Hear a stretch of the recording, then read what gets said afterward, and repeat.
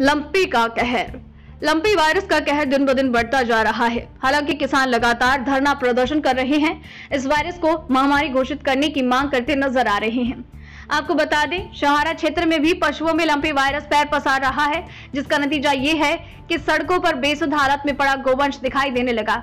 मौके पर पहुँचे किसान नेता चौधरी गजेंद्र सिंह टिकैत ने पशु को देखा, साथ ही किसानों से अपील की कि वायरस फैलने पर पशुओं को घर से बाहर न करें, इनका इलाज कराएँ।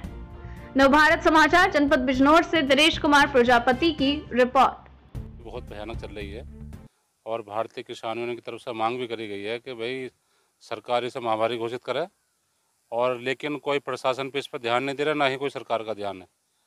लेकिन इस तरह की अगर व्यवस्था यहाँ रहेंगी जिला बिजनौर में तो भारतीय किसान यूनियन बड़ा आंदोलन करेगी और जब तक ये समस्या भाई एक एक किसान के सामने नहीं, ये सभी किसानों के सामने है।